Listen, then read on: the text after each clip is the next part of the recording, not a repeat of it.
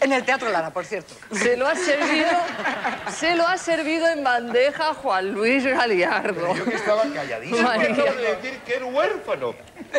Pero yo, Soy dos almas gemelas. Dos almas Claro, gemelas. claro, muy bien. Me callo, me callo, Perdóname que no había caído yo en eso. Dame un besito, hijo.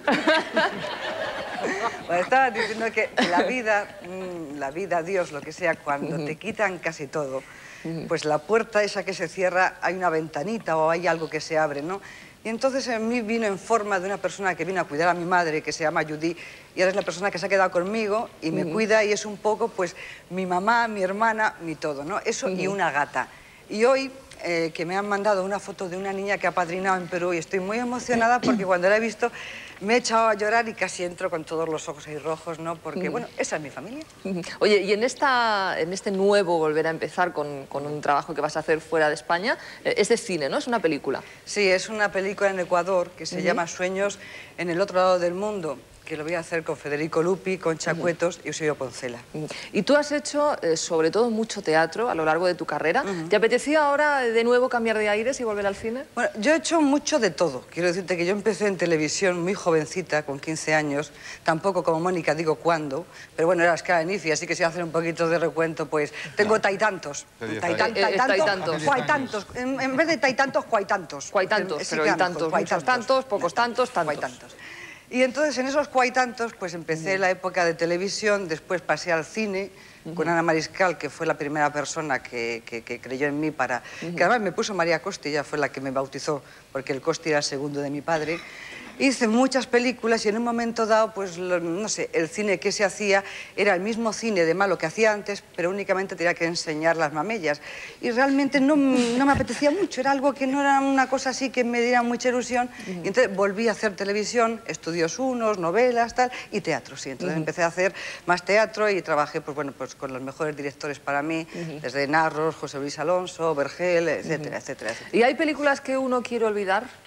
Hablando del cine alegre de los 70, que creo que más o menos No, conocéis era, era- todos, todos. deberíamos sentirnos culpables, pero no tenemos por qué. Era el cine que se hacía. Claro. Eh, no podíamos competir ideológicamente. había la censura, no hay que olvidarse. Entonces, Europa era una y nosotros éramos otra cosa. Entonces, el cine eh, bueno que se hacía lo hemos hecho todos los que estamos aquí.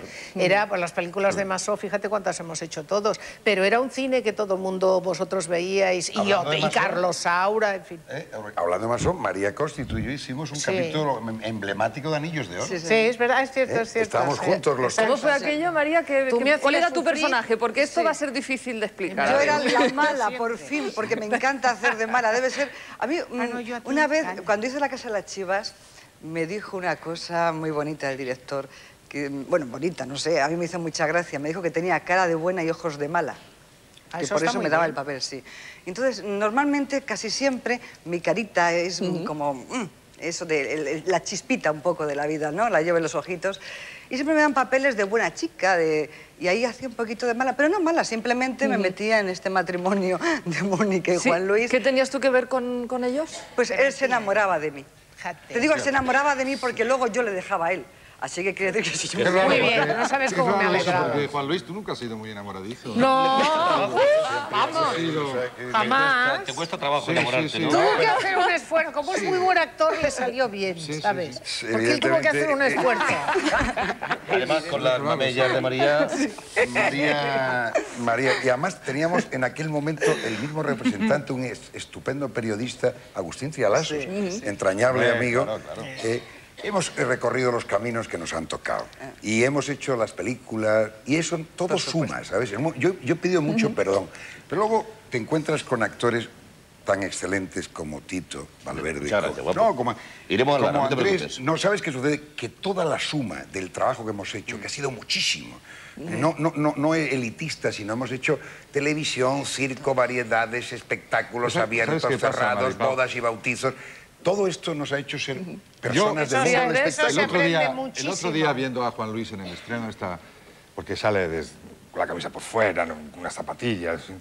Digo, hay que ver cómo nos ocupábamos, cómo nos preocupaba a nosotros cuando teníamos 22, 23 años. El pelo bien puesto, no sé qué, no sé cuánto. Está inmenso. porque ni se preocupa de si tiene cintura, si tiene no sé qué. Está inmenso. es que el actor Eso es es lo otra que tú cosa. crees que no Bueno, se lo, que ocurre... No, pero de verdad os digo una cosa. Creo que los que estamos aquí Es muy bonito, Maripau, y yo te lo agradezco mucho. Hombre, es que él y yo teníamos el mismo peluquero. Que nos hayas reunido, Y te vuelvo a decir. que nos hayas reunido para pasar este rato tan agradable. Y además has coincidido por esa casuística que has reunido personas que nos reconocemos, que nos que tenemos estimamos un requerido las unas con las otras Claro. de una u otra manera. y que nos reconocemos como eso que se llama del oficio. Sí, eso sí. Currantes.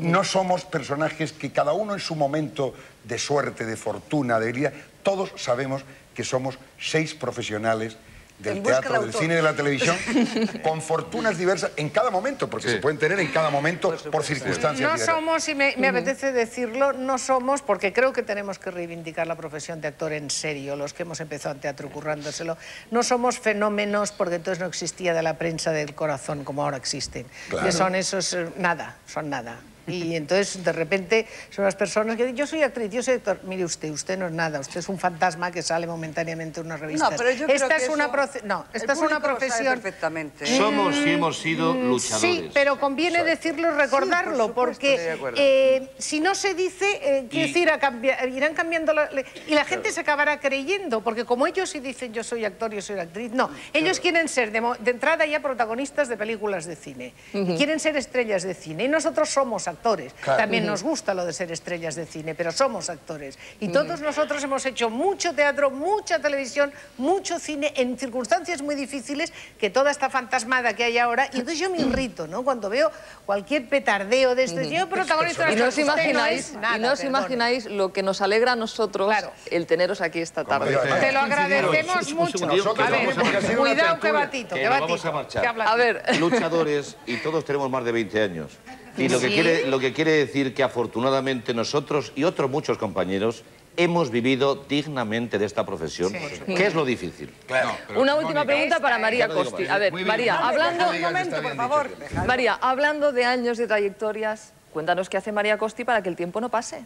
Es verdad, está estupenda. ¿eh? Pues eh, simplemente tener ilusión en la vida y pido no perder nunca un poquito de inocencia. Ah, no, pues eso lo hago yo y no estoy igual. Siempre tener... No, no, y sabes una cosa... No, no, un momentito. Y solamente hay una cosa. Me has preguntado algo que no me han dejado mis compañeros No, no, no, contestar. Yo No no, me arrepiento, veo, no me arrepiento de nada de lo que Sí. he hecho, ni artísticamente ni personalmente, porque todo, todo me ha servido para aprender, para crecer y para avanzar un poquito en la vida. Entonces creo que eso está dentro y eso es lo que sale fuera y creo que es lo que me mantiene más o menos. Pues ahora te voy a dar un beso chispita. ahora mismo porque es que de verdad es que no podía ya aguantarlo más.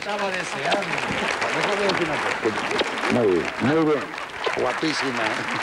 Yo te quiero decir... Muy bien, muy bien. A ver, eh,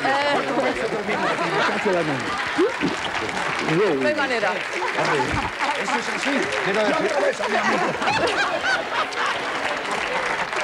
¿Cariñoso qué es? Por favor, hombre, qué menos.